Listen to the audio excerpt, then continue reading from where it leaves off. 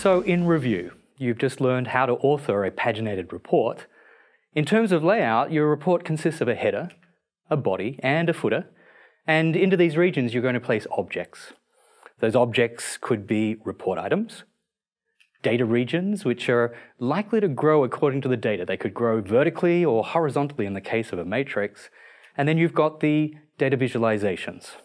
These are placed onto the headers and the body and the footer. And then the consideration is what resources will you use to configure them? And that's where we introduce the data source to connect to your source data and to define data sets to retrieve data from that source. Your data sets deliver fields, and then using expressions, you can even create calculated fields. You can then introduce built-in fields.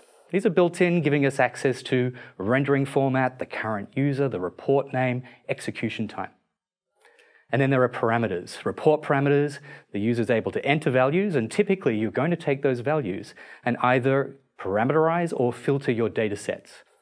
In some designs, you can use report parameters to also change formatting and visibility of objects. And lastly, there are variables. This is an advanced design concept, but the report has variables and so do groups. So, fields, calculated fields, built-in fields, report parameters and variables. These are the resources that you'll use to configure your objects and to complete your report design.